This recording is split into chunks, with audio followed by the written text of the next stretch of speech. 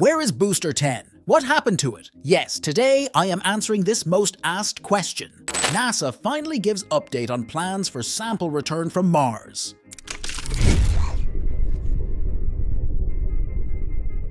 Hey, I'm Lucas. Welcome to the SpaceX community. Let's get started. The third Starship launch was a highly anticipated event. After months of waiting, the launch finally took place. The day started with the closure of a part of Highway 4 to ensure safety. The orbital tank farm then began its activity, indicating the start of the cooling process before fueling the Starship. However, the launch didn't initially go as planned. There were no signs of propellant being pumped into Starship's tanks. The delay was due to boats present in the keep-out area. But thanks to the upgrades done to the orbital tank farm, this delay wasn't a big issue. The fueling of Starship now only takes about 45 minutes. Consequently, propellant loading into Booster 10 began at T-minus 53 minutes. This was a significant decrease from the previous hour and 37 minutes. Nine minutes later, Ship 28 also joined the fueling process. As the frost line ascended on the vehicle's propellant tanks, SpaceX began its official webcast. 20 minutes before liftoff, the engine chill began. This process involves circulating a small amount of propellant through the engines to gradually reduce their temperature. This is crucial to prevent a thermal shock that could result from exposing ambient temperature engine parts to large quantities of cryogenic liquids. The fueling of both rocket stages was completed with just two and a half minutes to go before liftoff. As the countdown ticked closer to zero, the flight director confirmed that the launch was a go. The flame deflector sprang to life, dousing the launch pad with water as 33 Raptor engines roared to life. With no issues detected, the beast known as Starship was released, and it began its ascent. Two minutes and 42 seconds after liftoff, all but three Super Heavy boosters Raptors shut down. This was planned. Moments later, the ship ignited its three vacuum engines, followed by the firing of three atmospheric Raptors, marking its separation from the booster. This is known as hot staging, and it was executed flawlessly. As the ship continued to climb to space, the booster initiated its flip maneuver, performed by the three engines that remained active after most engines cut off, or MECO. This flip also marked the beginning of the boost back phase. Unlike in the second mission, the prototype successfully reignited 10 engines from the second ring of Raptors. This maneuver allowed the booster to navigate back towards its designated landing site, a point in the Gulf of Mexico located about 30 kilometers or 18.6 miles from the shore. The boost back ended with an engine shutdown 55 seconds later. At first sight, the burn appeared to be a complete success. But if we look a little closer at the shutdown sequence, there may have been some issues. Raptors began to shut down in a circular pattern, but for some reason, that sequence paused for a few seconds before the rest of the engines were turned off. This might have been a simple telemetry glitch, but it's worth considering when looking at what happened next. As Booster 10 was near its apogee, it began a slow reorientation to the landing position using its vents, which also act as thrusters. Less than two minutes later, Super Heavy was just 50 kilometers or 30 miles above the surface. At this altitude, the atmosphere is dense enough for grid fins actually to have an effect on the rocket. The descent phase looked a bit violent, although this is also something we can sometimes observe during Falcon 9 landings.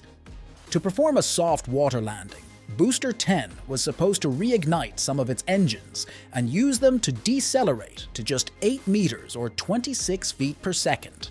That's not really what happened. The ignition sequence started just 1 kilometer or 0.6 miles above the water, with the firing of one Raptor center, followed by two engines from the second ring. This wasn't even close to enough thrust to slow the booster down. Instead of touching down at 8 meters or 26 feet per second, Super Heavy smashed into the Gulf of Mexico at a speed of over 300 meters, or almost a thousand feet per second if the telemetry was correct. Technically, you can call this a water landing, just not a soft one.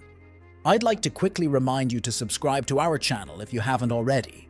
We regularly upload informative SpaceX and space news videos that you won't want to miss. Be sure to turn on the notification bell so you're notified whenever we release new content. Some of our viewers have mentioned they're not receiving notifications, which is frustrating. While we work on resolving this issue with YouTube, please double check your notification settings and ensure they're enabled. Thanks for your support. This is where the history of the legendary Booster 10 ended.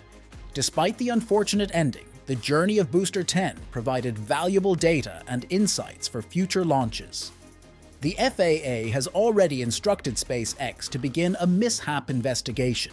Hopefully, it won't take too long this time, as the company already has a backlog of prototypes waiting to be tested. According to Elon Musk, we should expect to see at least six more launches this year, Despite the setbacks, the future of space exploration continues to look promising. Now, we will discuss some latest updates from Mars, focusing on NASA's Perseverance rover and the mission to bring back samples from the Red Planet. So, let's start with a quick update on the Perseverance rover. Since its historic landing on Mars in February 2021, it has been busy at work. At the recent Lunar and Planetary Sciences Conference, scientists revealed that the rover has already collected a whopping 26 samples out of its 43 sample tubes. That's impressive progress. Now, what's inside these sample tubes? Well, most of them contain rock cores, giving us valuable insights into Mars's geological history. Two tubes contain regolith, basically Martian soil, and one holds a sample of the Martian atmosphere. The remaining three are witness tubes, used to identify any contamination from Earth. But here's where it gets even more exciting.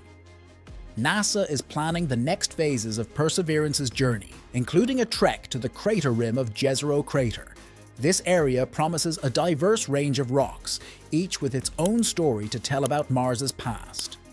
Scientists believe these samples could hold clues to potential signs of past life on Mars, making this mission incredibly important for astrobiology. However, while Perseverance continues its mission on Mars, NASA is also working on the next steps for bringing these samples back to Earth. This is where things get a bit tricky. NASA had a plan in place for Mars Sample Return, MSR, but after an independent review board raised concerns about cost and schedule, NASA formed a response team to explore alternative approaches. The response team is expected to complete its work soon, with NASA set to release revised plans and budgets in April. This uncertainty has left MSR funding in limbo, with the fiscal year 2025 budget proposal listing it as to be determined. This means that while NASA is committed to MSR, they're still figuring out the best way to make it happen within their budget constraints. And speaking of budget constraints, NASA also needs to figure out how to allocate funding for MSR in 2024, as instructed by an appropriations bill. It's a challenging balancing act, but one that NASA is committed to navigating. Despite these challenges, NASA officials continue to emphasize the importance of MSR Lindsay Hays, acting lead scientist for MSR at NASA headquarters, called it one of the highest priorities in recent decadal surveys and an agency priority. The samples collected by Perseverance could unlock the early history of terrestrial planets, providing invaluable insights into our solar system's past. But until NASA finalizes its plans for MSR, the scientific community is left in a bit of a holding pattern. Scientists are eager to explore beyond the crater rim with Perseverance and collect more samples, but they need to know the timeline and architecture of the mission first. Meenakshi Wadhwa, principal scientist for MSR at the Jet Propulsion Laboratory, highlighted the importance of maximizing sample diversity for the mission's success. She's eagerly awaiting the outcome of the response team's work to see how it will shape Perseverance's future missions. In conclusion, Mars Sample Return is an ambitious mission that holds the potential to revolutionize our understanding of Mars and our solar system. While there are still challenges to overcome, NASA remains dedicated to making it happen. Thanks for watching today's episode. Don't forget to subscribe and give us a thumbs up if you enjoyed it. Stay tuned for another great video tomorrow.